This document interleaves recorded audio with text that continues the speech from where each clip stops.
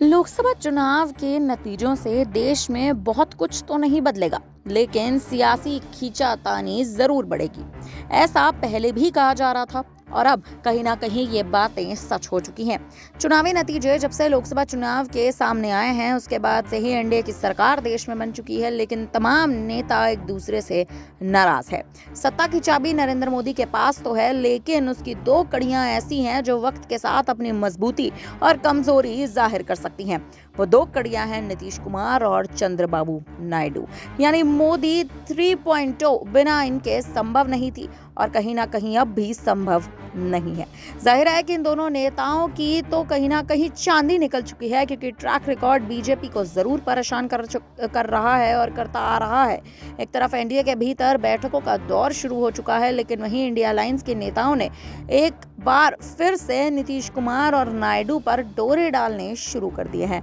लोकसभा चुनाव के बाद भी डोरे डाल रहे थे और अब भी कहीं ना कहीं डोरे डालने की जो प्रक्रिया है, शुरू हो चुकी है। नीतीश की जेडीयू शुरुआत में इंडिया गठबंधन का एक अहम हिस्सा हुआ करती थी, जिसका गठन साल 2024 के लोकसभा चुनाव में भाजपा नीत राजक का मुकाबला करने के लिए किया गया था। अतीत में भी नीतीश ने कई बार पाला बदला है और चुनाव से कुछ महीने पहले वे विपक्षी गठबंधन को छोड़कर फिर से भारतीय जनता पार्टी की एनडीए में शामिल हो गए थे।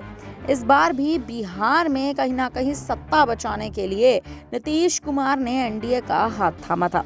लोकसभा चुनाव में बिहार में कुल 40 सीटें थी। राज्य में जेडीयू की संभावनाएँ थी कि अधिक से अधिक सीटें लाई जाएँगी, और परिणाम भी यही रहा।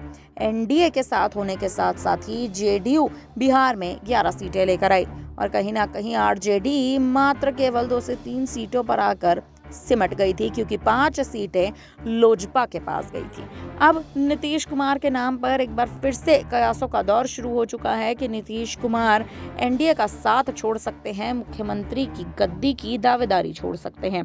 अगर ऐसा होता है तो स्थिति जो है वो कहीं ना कहीं पूरे देश में जेडीयू के लिए पूरी तरह से बदलती नज़र आएगी।